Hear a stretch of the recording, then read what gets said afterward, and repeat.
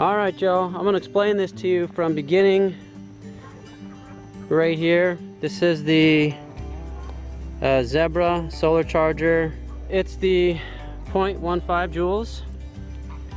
So this one here is the ground and it's going to a grounding rod. We have one grounding rod in here tied to another grounding rod 10 feet over like the instructions say over here and then another 10 feet over the opposite direction to a grounding rod in right there. This one's a wire that we had, that I had, copper, that's going. Those clips, so you can see how that is. There's three wires tied in together right here. And then it's attached there. This is the fence, this is the hot. Okay, it then goes all the way down and this goes to the gate. What I did was I tied the two gate units together with another copper wire to make them act as one unit. So that copper wire there, there, this comes from the unit, this is hot right now so I'm not going to be touching it. So it makes this whole thing hot which then makes this hot. What? But when I disconnect this, then the whole top line, all the way, the whole top line is not hot anymore when I disconnect it. But the bottom line still will be hot. So that's how I did it. And that's because of me tying them together here. And I can touch that because it's got the coating on it. See it blinking? It's still hot. That is cool. So even when this is open, you still have some security. The bottom line is still on. So guys, reason why I did this is that so when you're walking through and if you leave this top one off, now the whole top all the way around is not hot. So you can mess with it if you need to. And while you're going in and out even, you're not gonna have a break in the fence being hot because the bottom one will still be hot when the top is undone. And vice versa if we were to take the bottom one off all the way around the bottom won't be hot anymore but the top still will be. All right so for all of you who are like me I have very very little experience with electric fencing. I've worked at quite a few places where they had electric fencing but I have no experiencing no experience actually setting up electric fencing I've worked on it for other people before and helped them with it as far as if they've already had it set up. I've worked on maintenance for them. And whenever electric fencing is up and you hear this, wherever you're hearing that, the fence is actually grounding somewhere. You don't want that. That takes power from the, the electric fencing. So it makes it weaker in other spots. And I heard that, that ticking noise right over here, so I knew to look for it. And that's because this wire here where I tied it off was touching the metal. That metal is going to ground. So it was grounding right there. I was very careful not to do that anywhere else, but somehow I missed it right there. So this wire's by itself right here. That's why when it's disconnected at the gate, there's no power to this whole line. That's by itself, it's tied off. So when it's disconnected at the gate, there's no power in the whole line. Okay, we're gonna put a gate in right here so that we can easily let the cows go from that pasture to this pasture. You can see the cows are in that pasture, eating and crunching away. But we'll, we can let them go back and forth very soon here. And we'll see how it goes.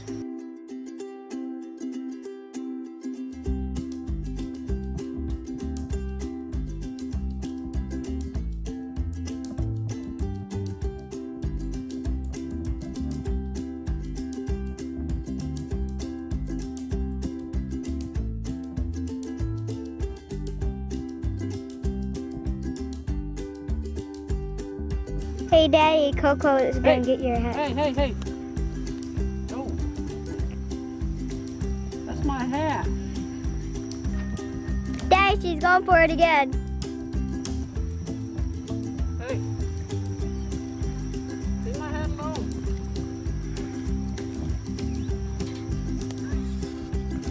Daddy, Rowan's going for it. Hey, you cows? What's the deal with my hat?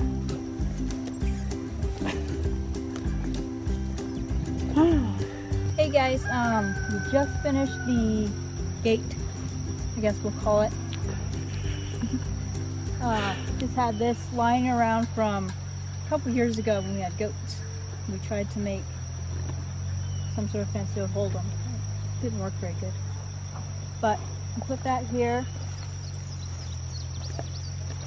Had this cedar post attached to it and attached it onto this T-post made kind of a hinge. And on this side, we just bent it over, top and bottom. Super simple gate. Yep. That will, that'll hold the cows. And we got the whole fence done in one day. In one day. We didn't do any prep work. How big of an area is this? Pretty big area. Gonna let let the cows into the new paddock for the first time. They're not trained to the electric, so hopefully they do okay here. Here they are.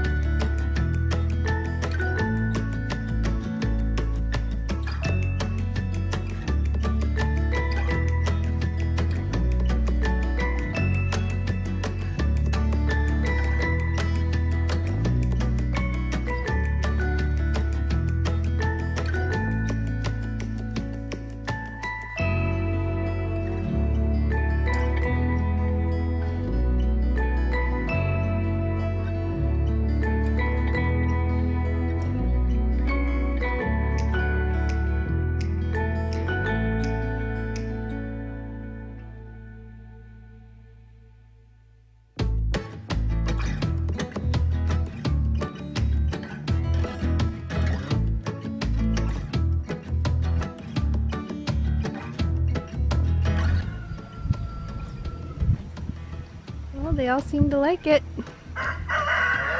Good work, love. They are really liking it. Mm-hmm.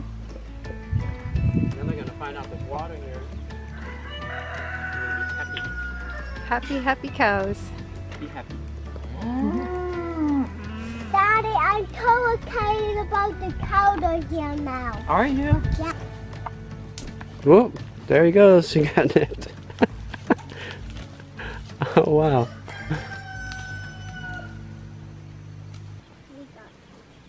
Really improve this pasture by stomping down all the old blackberries that were cut. Mhm.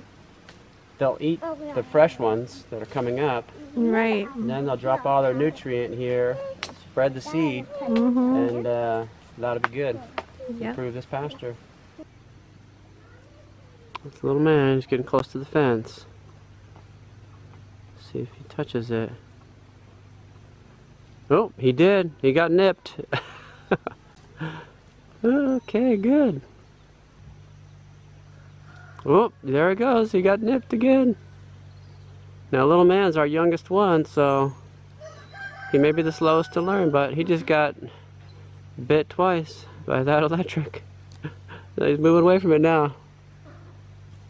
Hopefully, that means they're all trained to it. They've all been hit by the electric.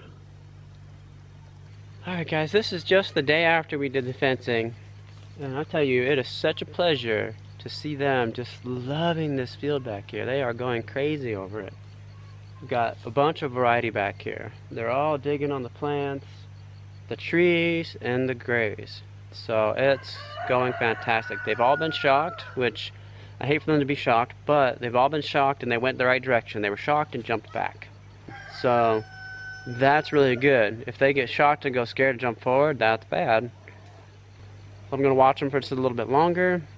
It is such a pleasure. I could just put a chair out here and, and sit here, and just watch them and hear them just munching. It's so cool.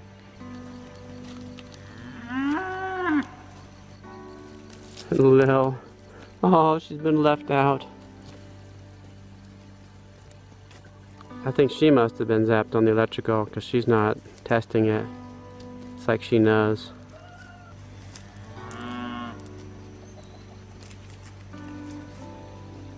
Yeah, she must have been zapped on it. Alright guys, I'm just, I'm overwhelmed with humility. Over the realization of what we're doing here.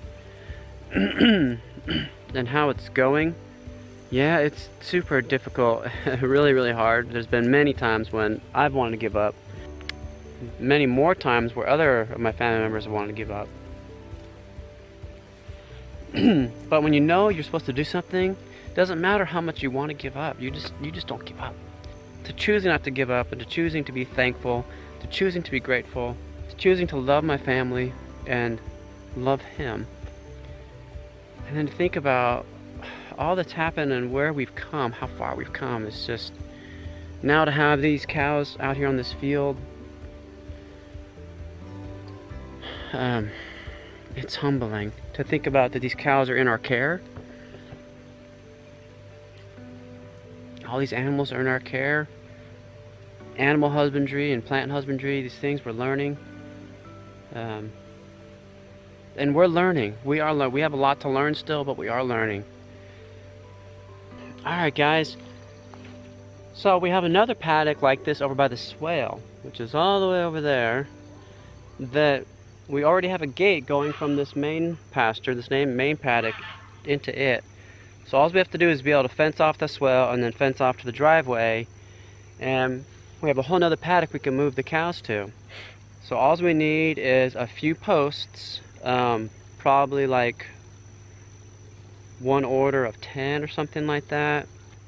we need another grounding kit. And then we can move the, um, the charger back and forth. so when we move these cows out of here, we'll give it this area rest. We can move them into the main pasture and then move them through the main pasture to the other paddock. So that's our goal. And uh, in order to be able to accomplish this, this was a blessing from one of you into our PayPal. So thank you so much once again. This is so cool. These cows are loving it. Whatever you do, do it with your whole heart.